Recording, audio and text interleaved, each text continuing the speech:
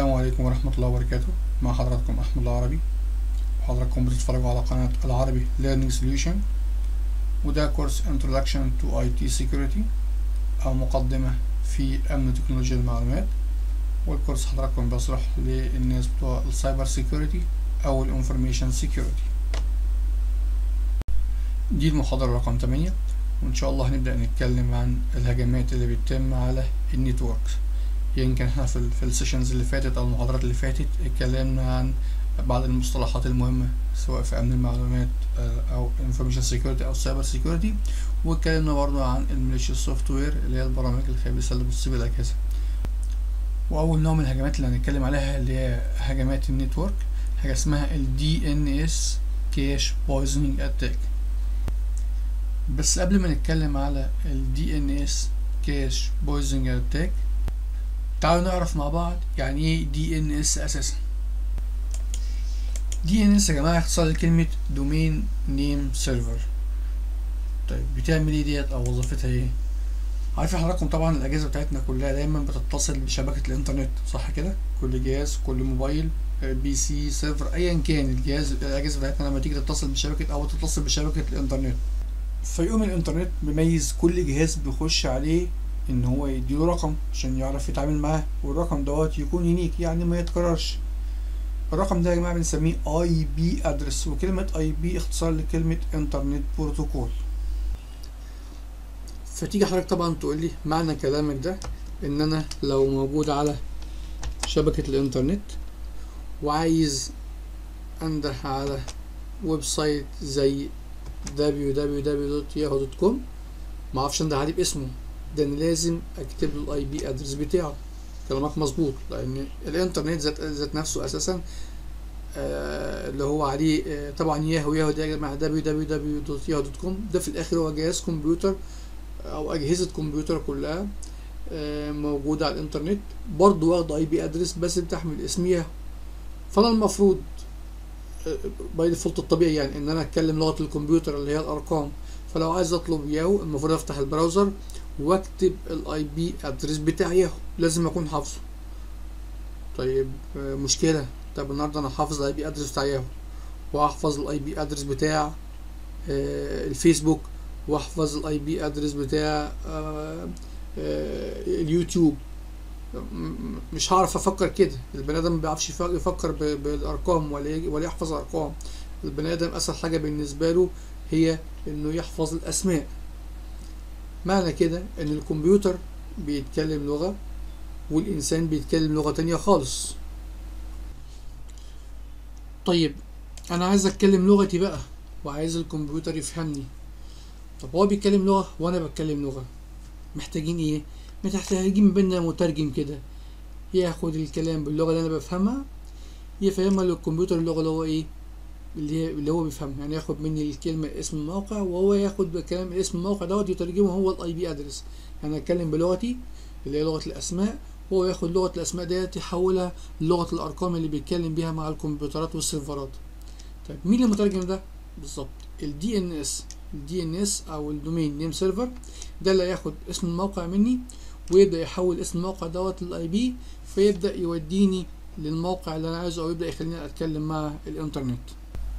أو بمعنى اصح بقى ممكن نقول ال DNS أو ال domain name system أو ال domain name server ايا كان عامل زي كده آه النوتة بتاعت التليفون.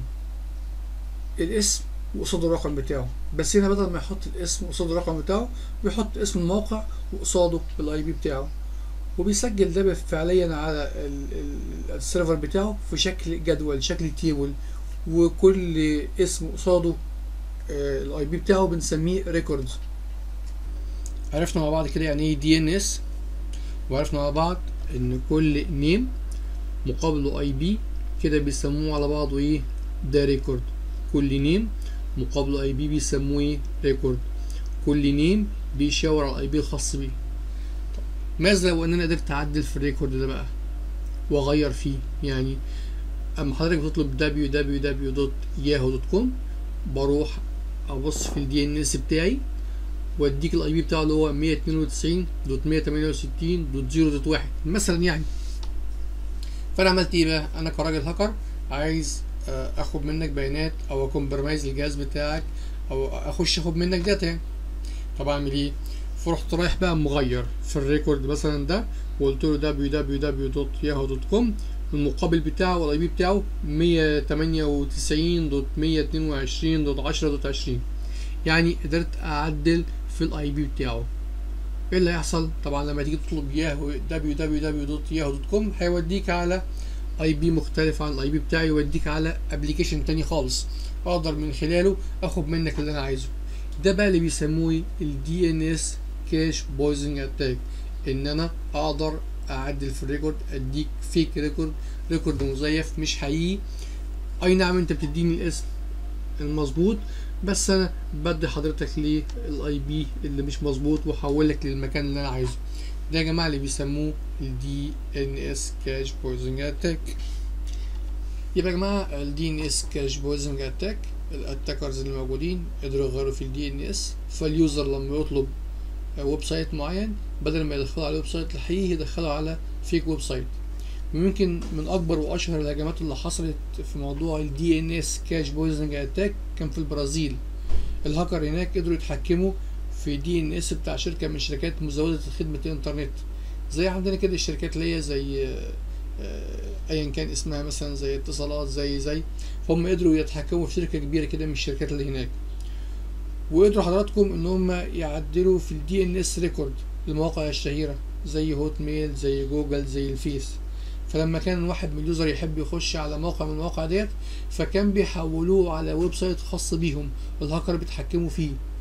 وكانوا بيطلبوا منه إن هو يسطب عنده كود Java applet كده عشان يشغلوا ال website. فكان الراجل بحسن نيه بيبدأ يعمل install لل Java ديت عنده. فالمهم أول ما يعمل كده يبدأ ينزل عنده malicious software طبعا عرفنا يعني إيه malicious ممكن نراجع الحلقات اللي فاتت.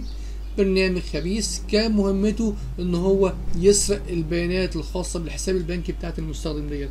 وبالفعل يمكن أضرت بعدد كبير جدا آه، من مستخدمين الإنترنت في البرازيل آه، عن طريق ال cache poisoning attack أرجو يكون واضح لحضراتكم يعني إيه DNS cache poisoning attack وال DNS cache poisoning attack كان أول موضوعاتنا اللي بنتكلم فيها في الحتة بتاعت ال network attack ما تنسوش حضراتكم تعملوا subscribe في القناة وتفعلوا زر الجرس وتدوسوا like عشان يوصل حضراتكم كل ما هو جديد في الكورسات بتاعتنا. والسلام عليكم ورحمة الله وبركاته.